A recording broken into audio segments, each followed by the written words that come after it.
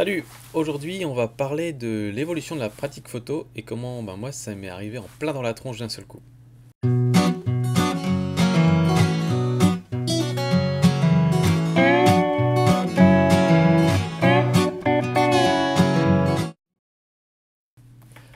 Alors en fait c'était pendant un week-end à Bruxelles, j'ai été euh, un petit week-end, j'étais rendre visite à ma soeur, en fait j'étais euh, allé à une soirée à Bruxelles et c'était l'occasion pour aller voir ma petite soeur qui habite là-bas, bref.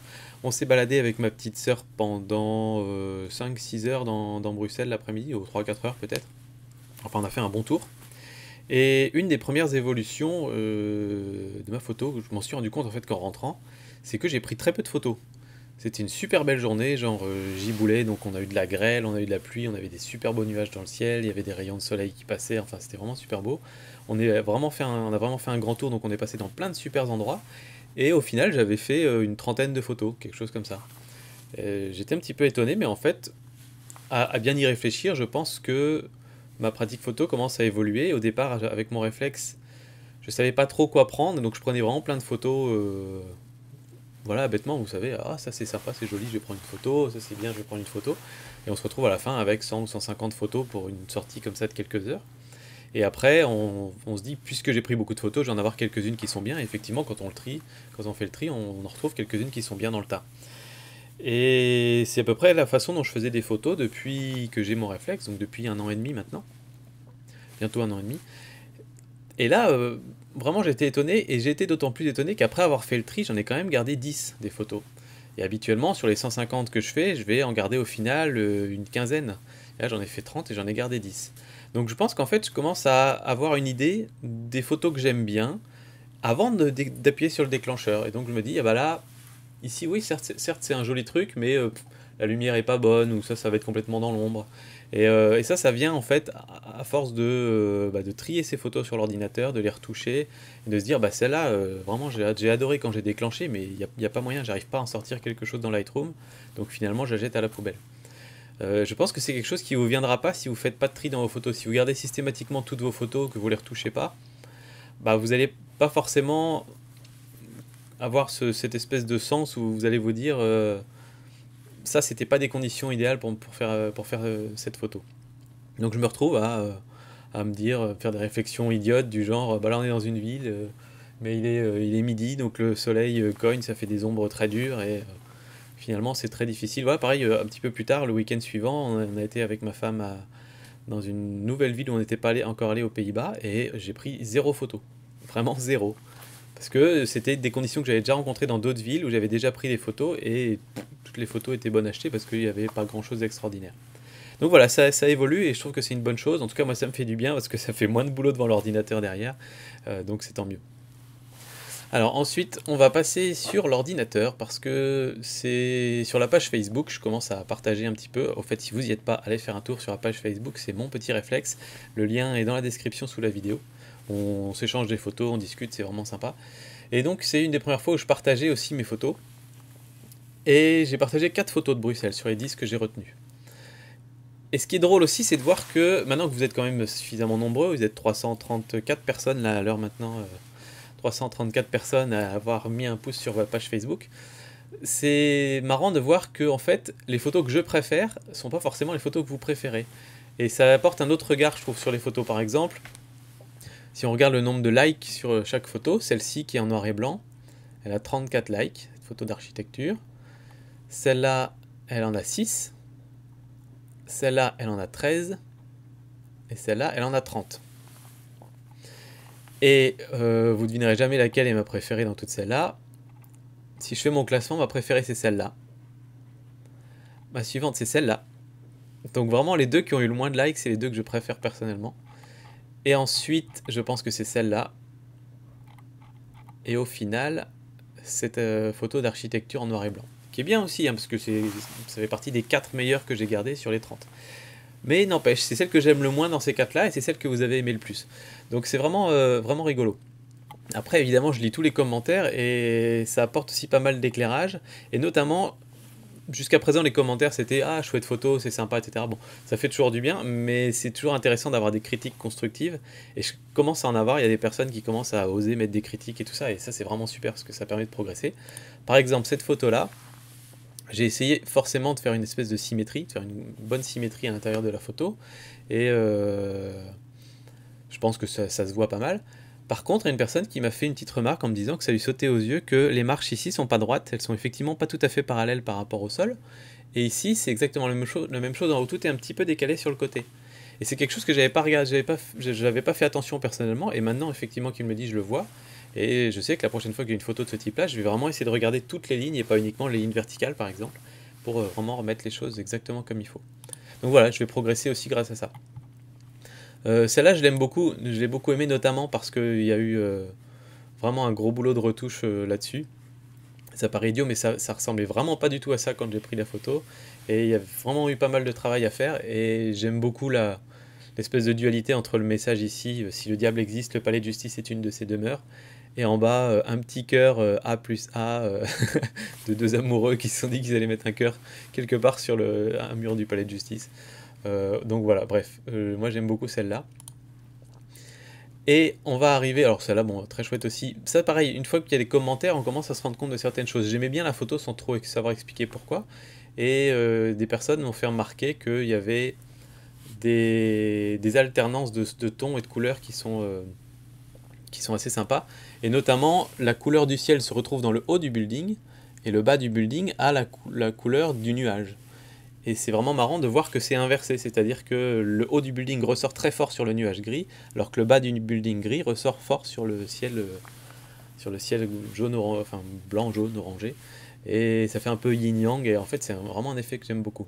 Je sais pas trop à quoi c'était dû, mais en tout cas c'était beau, donc j'ai voulu prendre la photo. Et la dernière chose dont je voulais parler, c'est donc ma photo préférée, celle-là. Et pour ça, on va aller dans Lightroom. Euh, non, en fait, on va pas aller dans Lightroom tout de suite. Euh, je vais vous expliquer un petit peu l'histoire. En fait, euh, je voulais prendre une photo un peu symétrique comme celle de l'autre côté, qui a été prise là-bas, en fait, l'autre. Et il y a ce bonhomme qui commence à descendre, probablement un juge ou un avocat, parce qu'il est tout en tenue, etc. Et je me suis dit qu'il fallait vite que je prenne la photo, donc j'ai pris la photo avec le type et j'en ai pris deux. J'en ai pris une d'abord ici, où il est en haut des marches, et là il y a la lumière qui crée une ombre, une grande ombre comme ça. Et ensuite, euh, l'autre, bah, ensuite je l'ai fait partir, où là il est lui dans le halo de lumière en fait. Mais du coup son ombre on la voit moins. Et personnellement, donc déjà il, y avait déjà, une décision à essayer de prendre là-dessus. Laquelle est la plus sympa, laquelle je préfère? Moi personnellement je préférais celle où il est dans la lumière, là ici parce qu'il est moins central dans l'image, mais on le repère quand même. Alors que sur l'autre photo, je vais peut-être ouvrir dans un nouvel onglet, voilà, on va faire comme ça. Alors que sur cette photo-là, il est beaucoup plus central dans l'image et il prend presque trop d'importance. Moi, j'avais plutôt envie de, de voilà, d'un bonhomme qui part un peu la tête basse comme ça. Enfin, ça me plaisait mieux. Ensuite, donc ça c'était déjà un premier débat. Laquelle je préfère? Celle où il est en haut avec la grande ombre ou celle où il est au milieu mais il n'y a plus la grande ombre mais en même temps il est sur le halo de lumière Ensuite, il y a la question du cadrage. Alors, les deux ont un cadrage différent. Celle-ci, elle a un cadrage beaucoup plus serré, mais euh, voilà, vertical, donc un peu comme l'autre cadrage de la photo noir et blanc. Et hum, voilà, je sais pas trop ce que ça évoque. C'est un cadrage plus naturel parce que c'était euh, format A4 normal, voilà.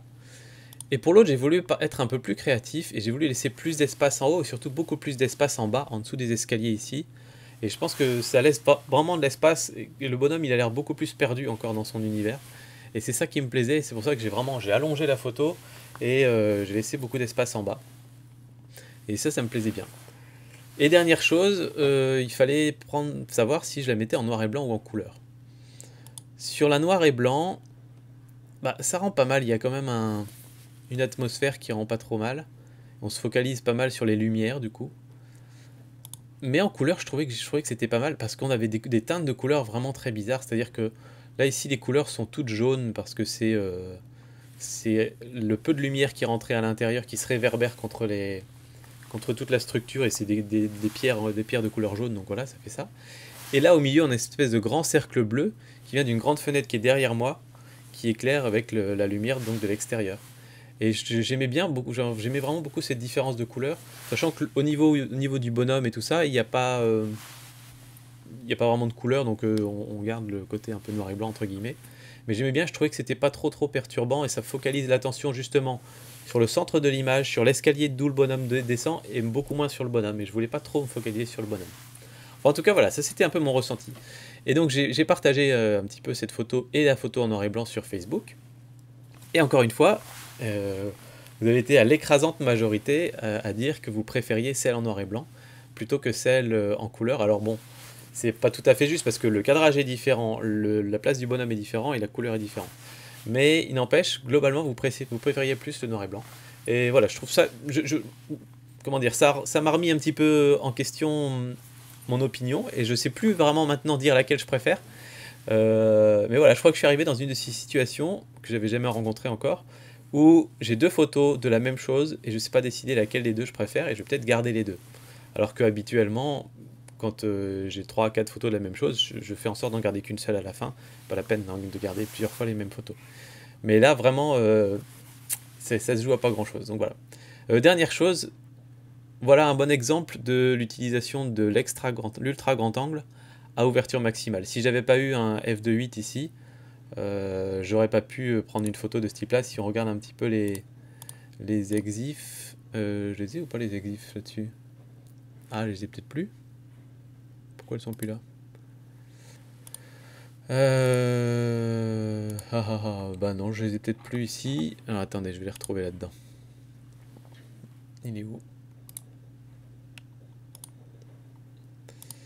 Voilà, donc je l'ai prise à f2.8 à 1 vingtième de seconde ISO 800. Donc ISO 800, comme vous le savez, c'est le maximum auquel je pousse mon appareil pour vraiment euh, pouvoir quand même avoir de la matière et pouvoir travailler un peu sous Lightroom derrière.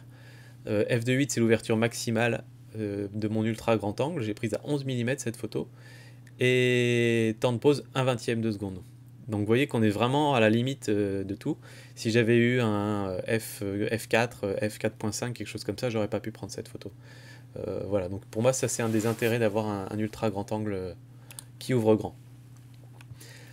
Voilà, c'était un petit peu une petite discussion comme ça, sans trop de prétention, pour vous expliquer un petit peu que j'ai l'impression que ça commence à évoluer un peu ma pratique photo.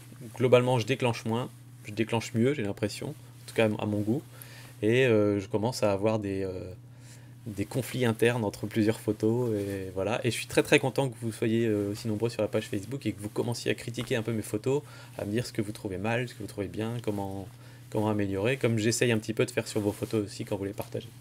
Voilà, moi je vous dis à très bientôt. Euh, n'hésitez pas bah, à nous rejoindre sur Facebook ou, ou, ailleurs, comme vous voulez. Et puis bah, à une prochaine vidéo. Ciao